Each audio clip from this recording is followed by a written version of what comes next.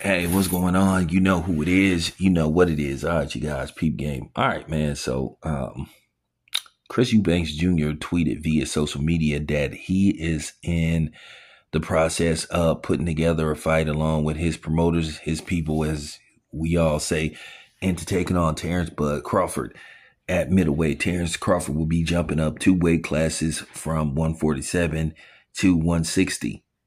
So this would be a risky fight for Terence Crawford.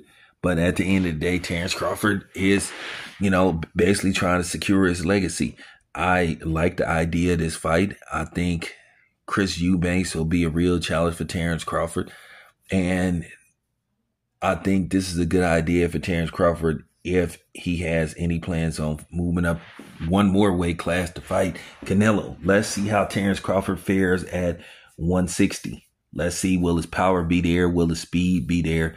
You know, will his skill set be there? And how durable his his chin will be up there. So I think this is a solid fight for Terence Crawford.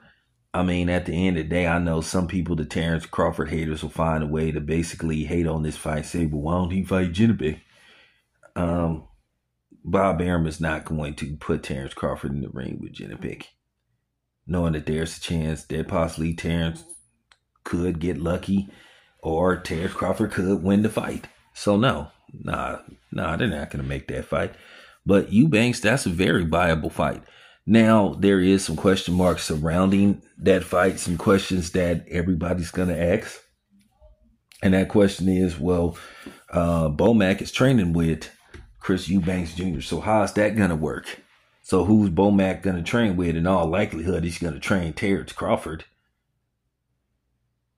and Eubanks will have to find another trainer for that for that that fight. It's not like Bomac can work two corners, you know. So I don't think so. In all likelihood, Bomac would be in the corner of Terence Crawford, but it's not like Chris Eubanks won't be able to find another trainer. There's literally hundreds of trainers that Chris Eubanks could, you know, work with and get them prepared for this fight.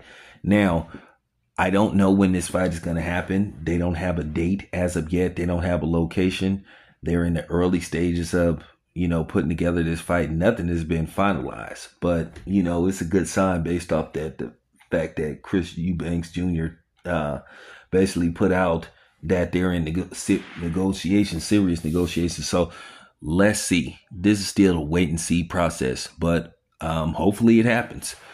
In all likelihood, in all likelihood, this fight would be in the States. In all likelihood, it would be in Las Vegas. So let's see what happens. Anyway, it's your boy Town. I'm out.